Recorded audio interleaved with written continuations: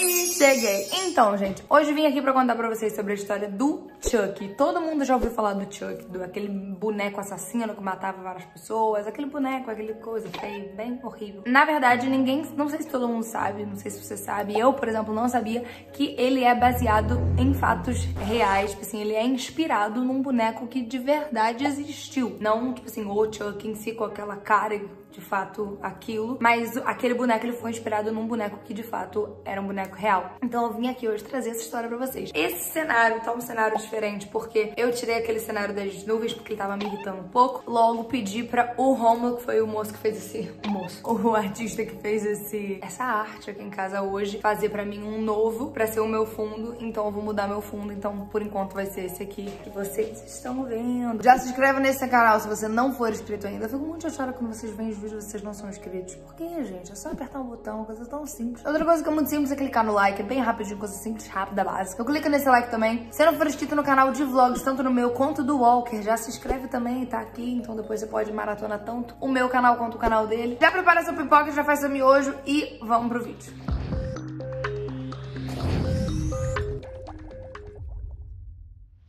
Tem um cara chamado Charles Lee Ray. E ele também é conhecido como estrangulador de Lee Shore e o apelido dele as pessoas chamam carinhosamente ele de Chuck. Na verdade, não é uma pessoa real, e sim um personagem de um escritor de um cara chamado Don Mancini. Dia 9 de novembro de 1988, ele morreu em Chicago. E uma coisa super importante a gente lembrar nessa história é que ele gostava muito de voodoo. Não sei se vocês sabem o que é voodoo. É tipo um bonequinho que você faz coisas com o boneco e as coisas acontecem com a pessoa que você fez o voodoo para. Você fez o voodoo para Joãozinho, Joãozinho vai sofrer as coisas que você tá fazendo com o voodoo. Essa história toda que, que, que vira, né, a questão toda do boneco do Chuck, do, do, boneco assassino, é porque esse assassino um dia tava correndo da polícia, até que ele resolve se esconder dentro de uma loja de brinquedos. Ele entrou dentro da loja de brinquedos e se escondeu. Mas um dos detetives do caso, chamado Mike Norris, acaba baleando ele. Então ele é baleado dentro da loja de brinquedos por esse detetive. Ao morrer, o Chuck, ele jura vingança, porque ele fica muito bravo, que acabaram de matar ele. Ele jura vingança e ele transfere a alma dele para esse boneco que tá na prateleira. E aí criou, então, o brinquedo assassino. A série de filmes foi iniciada em 1988 e o nome do diretor era Tom Holland.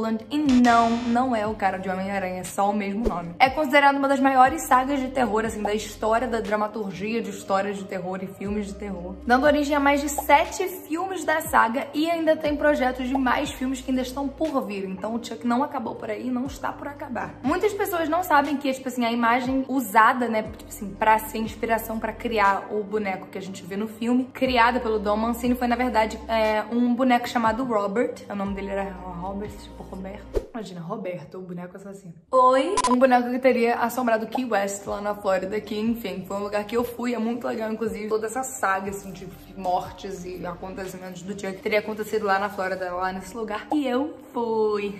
Se eu fosse morta por um brinquedo, já sabem o porquê. O boneco Robert era propriedade de uma marca chamada Robert Eugene Otto, um artista super excêntrico, assim, que gostava de ser chamado de Gene Otto. O boneco era fabricado na Alemanha por uma companhia chamada Steve Company. E esse boneco ele foi comprado pelo avô desse menino quando ele foi para uma viagem na Alemanha em 1904 e foi entregue ao Otto no presente de aniversário dele. O Robert era um, um boneco super único, porque ele, tipo assim, ele nunca tinha sido fabricado antes, ele era uma tecnologia completamente diferente, completamente nova. E ele tinha o tamanho real de uma criança daquela idade, entendeu? Então, tipo assim, era como você ter um boneco da, do seu tamanho. Era um amigo, assim, que você tinha da, da sua idade, do seu tamanho. Então, tipo assim, era muito, muito atrativo pras crianças. Tipo assim, era assim, muito... Nossa, quero muito ter, sabe? Era meio tipo Baby Alive da época. Ah, inclusive esse Otto morava numa mansão chamada Artist House, que ele, tipo assim, viveu a maior parte da vida dele lá morreu lá e o Robert, o boneco, viveu com ele a maior parte da vida dele também. Então ele levou o boneco com ele a vida inteira. Enfim, assim como o Chuck, ele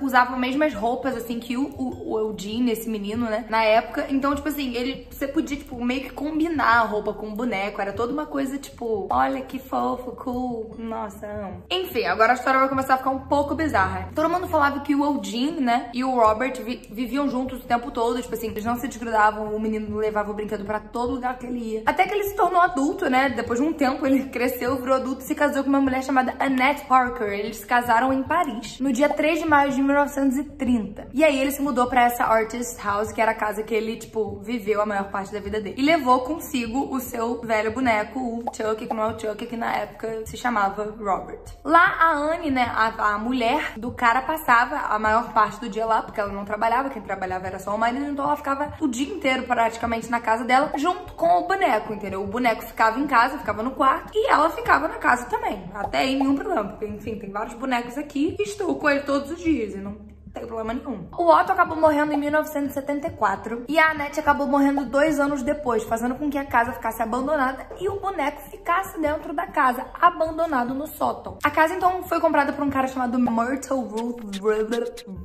Hilter. Hilter. E ele botou, tipo assim, deixou o boneco lá de, de, uma vez por todas dentro do sótão e trancou o boneco, tipo, super assustador, porque o boneco já não era uma coisa tão bonita, né? Porque, tipo assim, do tamanho de uma criança, já era uma coisa esquisita, não era uma, coisa tipo, ah, é um bonequinho desse tamanho, era era um trambolho, ele botou o boneco lá e deixou. Depois que o, o Eugene morreu, né, o dono do Robert morreu, as pessoas começaram a perceber que o boneco começou a ficar esquisito. Tipo assim, ele não estava agindo de maneira normal. E como é que um boneco não age de maneira normal? Exato, esse era o problema. Enfim, vários vizinhos falavam que às vezes eles estavam passando assim na rua e eles viam o boneco na janela, do nada o boneco tava em outra janela, depois tava em outra janela. Então, depois que o cara morreu, começaram a falar que o boneco, tipo assim, começou a agir estranho, começou a agir. De acordo com outros rumores da época, ouviam-se passos no sótão, porque o boneco ficava, tipo, trancado no sótão. Então, tipo assim, muitas pessoas quando iam na casa ouviam no sótão passos, como se alguém estivesse andando no sótão. Além de, às vezes, ouvirem algumas risadas. Algumas pessoas até relatavam que ouviam, tipo assim, algumas, alguns barulhos como se fossem crianças rindo. Inclusive, uma coisa muito esquisita que diziam era que, tipo assim, a expressão do boneco ia mudando de acordo com o que era conversado. Se a gente tava conversando sobre uma coisa legal e tal, tipo assim, que ele gostava, ele ficava com uma expressão feliz, se ele não gostava do assunto, ele fechava a cara. E ele era meio, tipo, ele se expressava, sabe? Era tipo uma, como se fosse um humano mesmo. Quando falava mal do Otto, do antigo dono dele, ele ficava com uma expressão super mágica assim. Vou acabar com você. Em 1994, o boneco foi doado para um museu, né? Porque, enfim, ninguém queria deixar aquilo ali em casa, né? Eu, pelo menos, não deixaria. Foi doado para o Museu East Martello, lá em Key West, na Flórida. Inclusive, eu poderia ter ido, não, não sabia que era lá. Se eu soubesse na época, eu teria ido, porque eu estava em Key West, eu fui em Key West, então eu poderia ter visto o Chuck de perto. Mas não vi, então na próxima vez que eu for lá, eu quero muito ver. Então, se vocês quiserem que eu vá lá ver o Chuck, deixa aqui nos comentários. E hoje em dia é, tipo, atração turística, então dá pra ir lá visitar. Então, se um dia vocês tiverem oportunidade de ir, vão e conheçam o Chuck original e verdadeiro. Existem várias lendas que circulam, né, ao redor dessa história, ao redor do caso e de todo mundo que envolve. E uma dessas lendas é que uma jovem de descendência barra, barra,